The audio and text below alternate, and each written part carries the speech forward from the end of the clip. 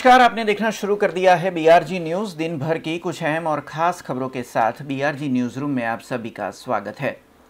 खबरों का सिलसिला शुरू करने से पहले एक नज़र आज की सुर्खियों पर। कोरोना संक्रमण की स्थिति की समीक्षा के लिए केंद्र की टीम बड़ौदा पहुँची। जिला कलेक्टर से बैठक में बड़ौदा में कोरोना संक्रमित मरीजों की संख्या और इलाज की सुविधाओं का लिया गया ब्यौरा।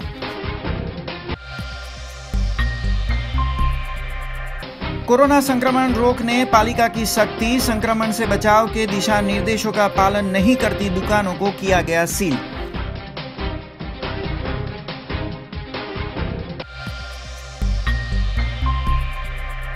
आज से शहर में लगेगा रात्रि कर्फ्यू, बस यातायात पर होगी असर, कर्फ्यू के सख्ती से अमल के लिए पुलिस विभाग मुस्तैद।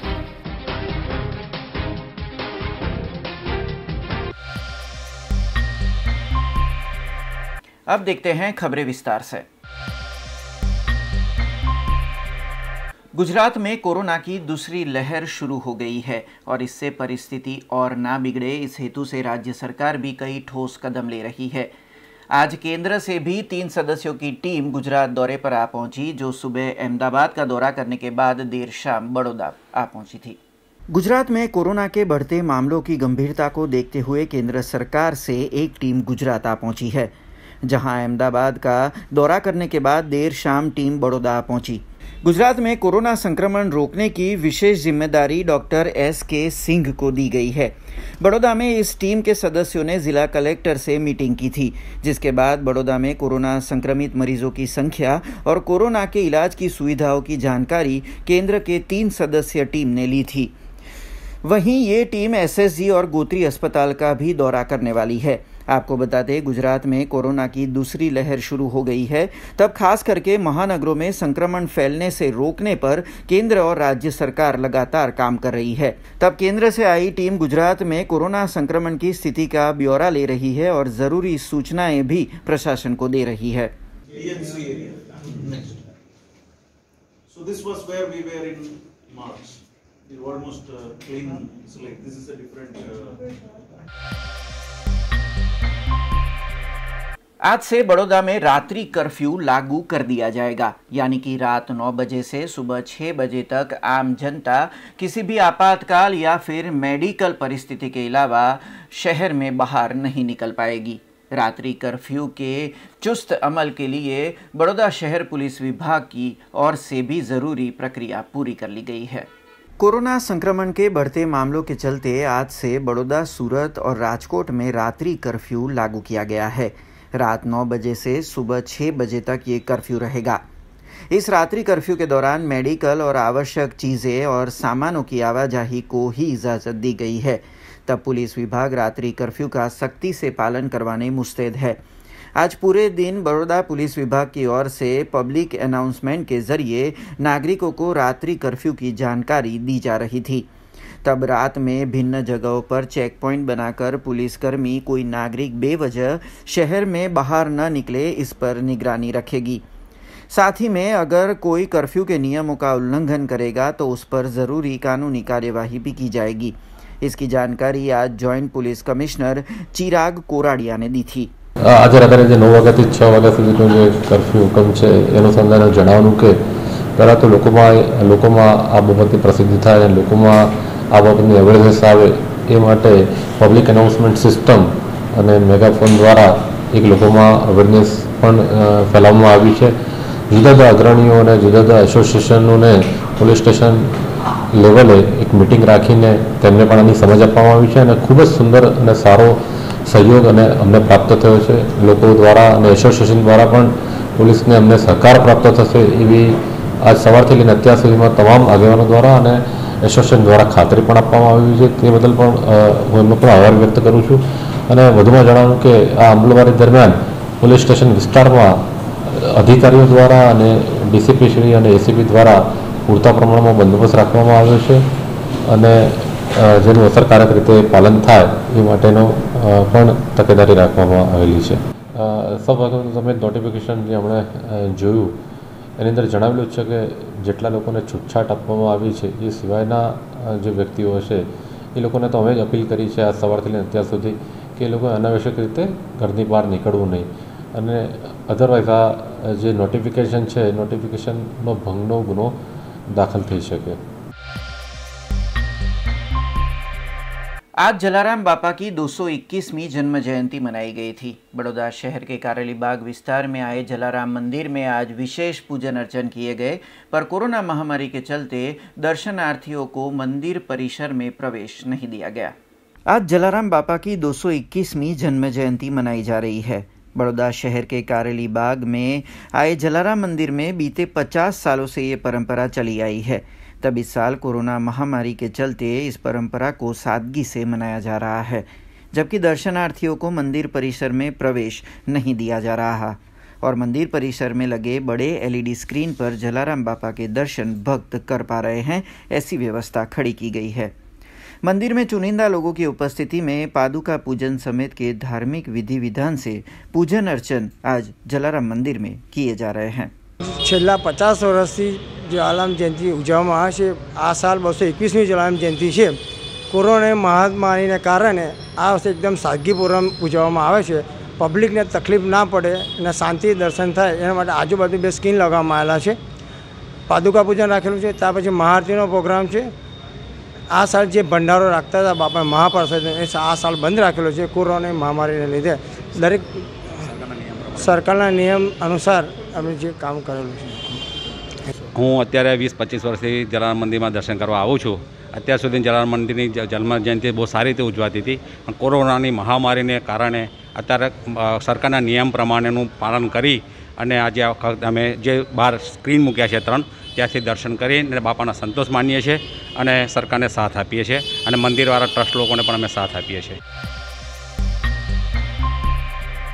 दीपावली त्योहार के बाद बड़ौदा में कोरोना संक्रमित मरीजों की संख्या बढ़ रही है तब बड़ौदा महानगर पालिका भी संक्रमण रोकने के लिए सतर्क नजर आ रही है खंडेराव मार्केट समेत बड़ौदा महानगर पालिका ने बार वार्ड विस्तारों में पब्लिक अनाउंसमेंट के जरिए मास्क और सोशल डिस्टेंसिंग के लिए नागरिकों को जागरूक किया જાહેર જનતાને નમ્ર અપીલ કરવામાં આવે છે કોરોનાના સંક્રમણને રોકવા માટે સોશિયલ ડિસ્ટન્સિંગનું પાલન કરીએ ફરજિયાતપણે માસ્ક પહેરીએ અને સોશિયલ ડિસ્ટન્સિંગનું પાલન કરીએ बड़ौदा अहमदाबाद राजकोट और सूरत जैसे महानगरों में कोरोना संक्रमण के मरीजों की तादाद में इजाफा हुआ है तब बड़ौदा महानगर पालिका भी नागरिकों को भीड़ भाड़ वाले इलाकों में मास्क सोशल डिस्टेंसिंग और हैंड सैनिटाइजेशन के उपयोग के प्रति जागरूक करने लगातार प्रयास कर रही है बड़ौदा शहर के खंडेराव मार्केट में पब्लिक अनाउंसमेंट सिस्टम से नागरिकों को मास्क और सोशल डिस्टेंसिंग रखने की अपील लगातार की जा रही है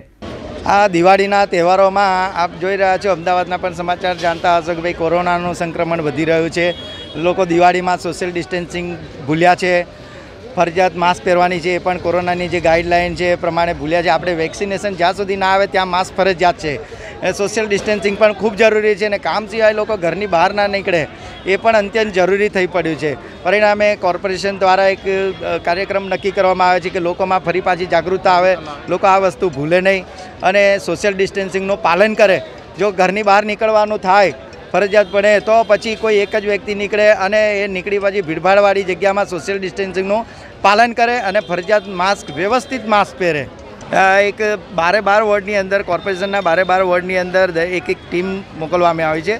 શરૂઆતમાં અમે પબ્લિક પ્લેસ લઈએ પછી રેસિડેન્સ એરિયા, સોસાયટી એરિયા, જેથી તમામ વિસ્તારો આવરી લેવાશે કે જ્યાંથી આ બધી મેસેજ અને આપ, આપના માધ્યમથી પણ લોકોને વિનંતી કરું છું કે આપ જરૂર સિવાય ઘરની બહાર ના નીકળો અને ઘરની બહાર નીકળો અને ભીડભાડવાળી જગ્યાએ જાઓ તો પોતે જ સોશિયલ ડિસ્ટન્સિંગનું પાલન કરે અને ફરજિયાત ઘરેથી જ માસ્ક પહેરી નીકળે અને વ્યવસ્થિત માસ્ક પહેરીને નીકળે.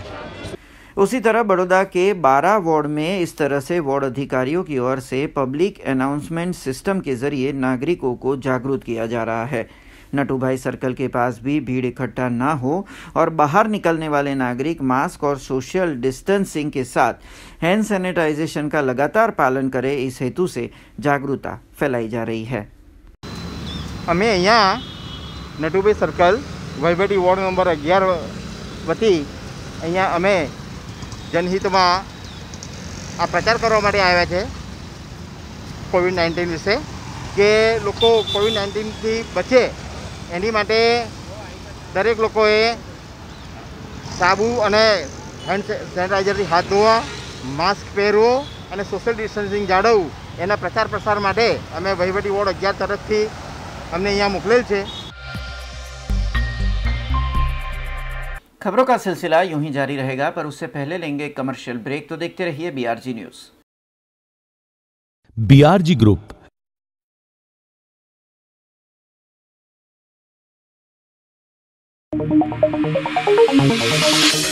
Thank के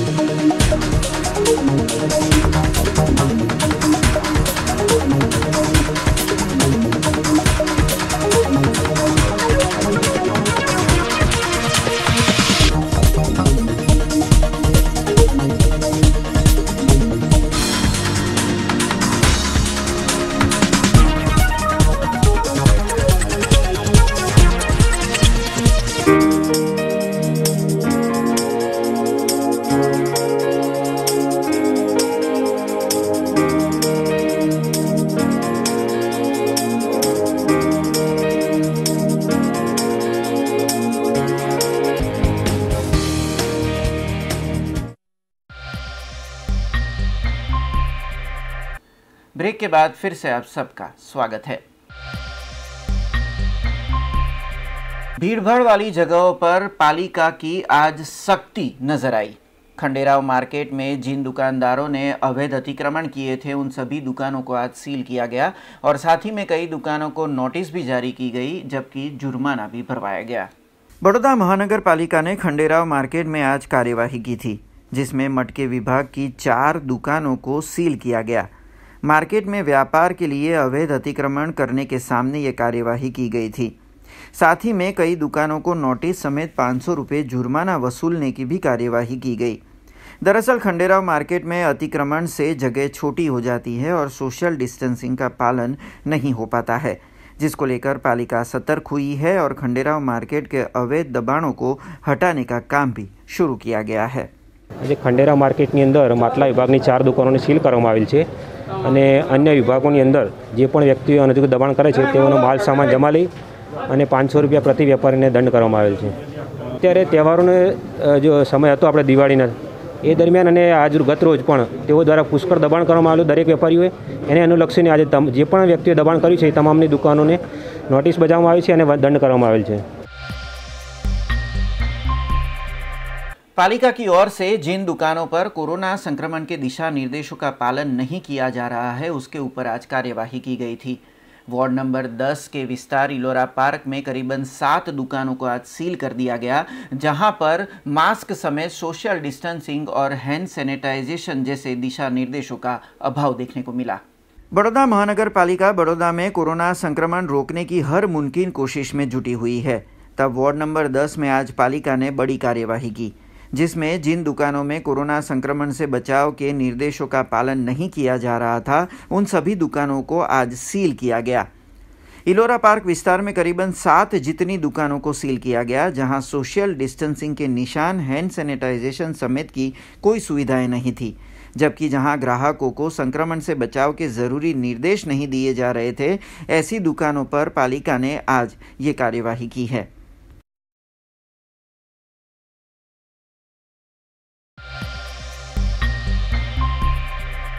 बड़ौदा में कलेक्टर कार्यालय पर आज शॉर्ट सर्किट की घटना सामने आई। पीडब्ल्यूडी लाइन में शॉर्ट सर्किट से आग लगी थी। जैसे ही दमकल विभाग को इसकी जानकारी दी गई, दमकल विभाग ने मौके पर पहुंचकर आग पे काबू पाया। बड़ौदा जिला कलेक्टर कार्यालय में आज शॉर्ट सर्किट की घटना हुई थी, जिससे बिजली के लकड़े के मीटरों में आग लग गई थी। पीडब्ल्यूडी लाइन में यह शॉर्ट सर्किट हुआ था, जिससे बिजली के तार जलकर खाक हो गए। शॉर्ट सर्किट और आग लगने की जानकारी तुरंत ही दमकल विभाग को दी गई, जिसके बाद दमकल विभाग के जवानों ने तुरंत घटनास्थल पे पहुंचकर आग पे काबू पाया था। जीबी की टीम भी मौके पर पहुँची थी, जबकि पुलिस विभाग भी कलेक्टर कार्यालय पर पहुँचा था। गनीमत की बात ये रही थी कि घटना में किसी के हताहत होने की खबर नहीं है। જે જે ઇલેક્ટ્રિક લાઇન પીડબ્લ્યુડી હસ્તકની કલેક્ટર ઓફિસમાં જે લાઇન જાય છે, એની લાઇન તમામ ઓફિસમાં જાય છે, એ લાઇન છે અને લાઇનમાં શોર્ટ સર્કિટ અચાનક થતાં અવાજ આવવાથી એકદમ આગ પકડી લીધી ને આગ પકડી લીધી ફાયર બ્રિગેડને જાણ કરતા ફાયર બ્રિગેડ સમયસર આવી અને કંટ્રોલમાં કરેલ છે. નહીં, બીજું કોઈ નુકસાન તો નથી, પણ ઇલેક્ટ્રિકને લગતું જે કંઈ નુકસાન થયું હોય આજ से બડોદા સુરત और राजकोट में रात्रि कर्फ्यू लागू हो जाएगा जिसकी सीधी असर यातायात पे पड़ेगी।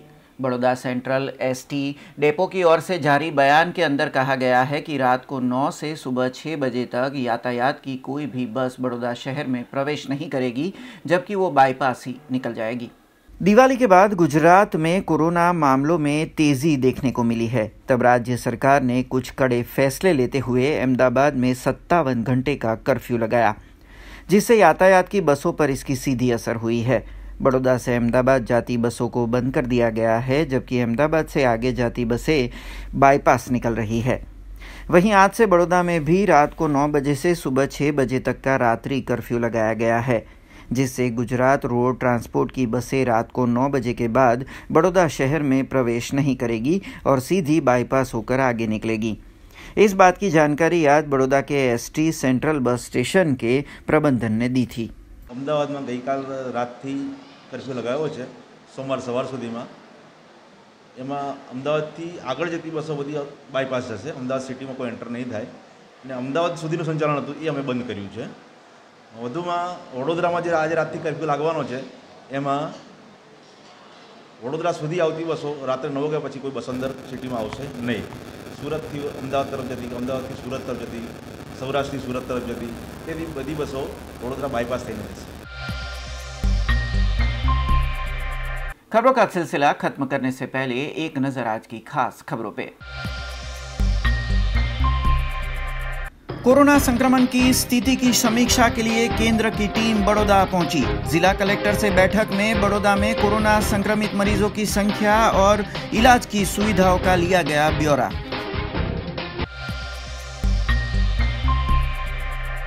कोरोना संक्रमण रोकने, पालिका की सख्ती, संक्रमण से बचाव के दिशा निर्देशों का पालन नहीं करती दुकानों को किया गया सील।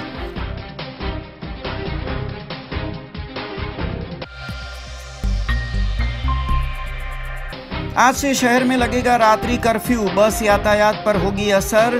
कर्फ्यू के सख्ती से अमल के लिए पुलिस विभाग मुस्तैद।